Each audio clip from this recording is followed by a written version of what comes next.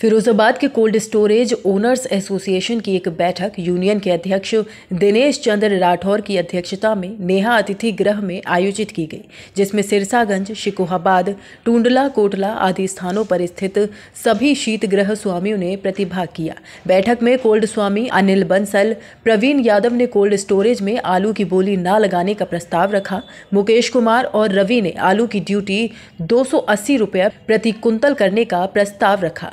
दोनों प्रस्ताव को सर्वसम्मति से स्वीकार किया गया। अध्यक्ष ने कहा कि अगर किसी भी शीतगृह में बोली लगेगी, उस पर इक्कीस सौ का जुर्माना लगाया जाएगा। अतुल यादव ने कहा कि स्टोरेज में बोली ना लगने के लिए प्रशासन के सीधे आदेश हैं। आज की मीटिंग कोल्ड स्टोर स्वामियों की, जिसमें की करीब 80 से लेके 100 तक कुल स्वामियों ने भाग लिया है।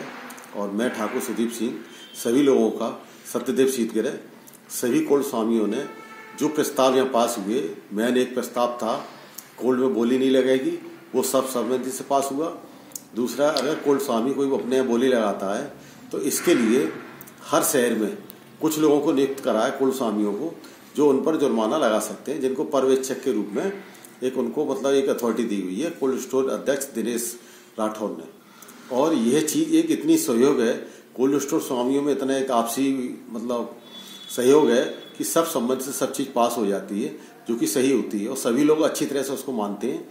और कुल स्वामियों में सभी अच्छे लोग हैं। और इस चीज़ का एक और प्रस्ताव पास हुआ था, जिसमें कि ये था कि ड्यूटी का भंडार एक दो से अस्सी रुपये प्रति क्विंटल। उसको भी सब सम्मति से सही पास हुआ है, क्योंकि और जगह भी इससे अधिक रेट हैं। यहाँ थोड़ा सुखावाद अपने फिरोजाबाद डिस्ट्रिक्ट में थोड़े ये रेट कम रखे गए हैं।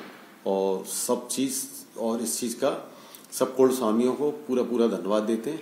जिन्होंने पूरे सहयोग से आए और प्रतिभोज भी इनने लिया।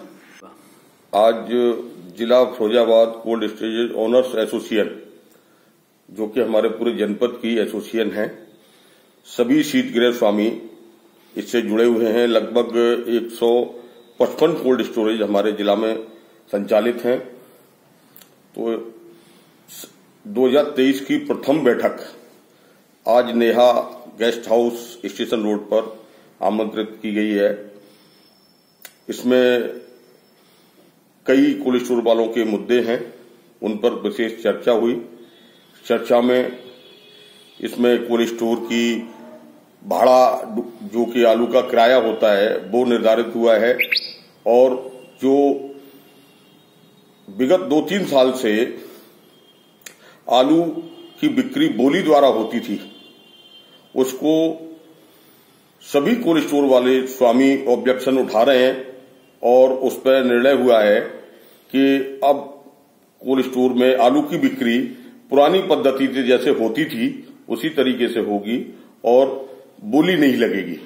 उसमें बोली में सभी व्यापारी भाई नुकसान उठा रहे हैं, सभी शीतगृह स्वामी भी नुकसान उठा रहे हैं। इस दौरान बैठक में ठाकुर संदीप सिंह, राजेश गुप्ता, गोपाल सिंह, अरविंद सिंह, गजेंद्र सिंह चंदेल, मुकुल सिंह, दयाशंकर गुप्ता आदि लोग मौजूद रहे।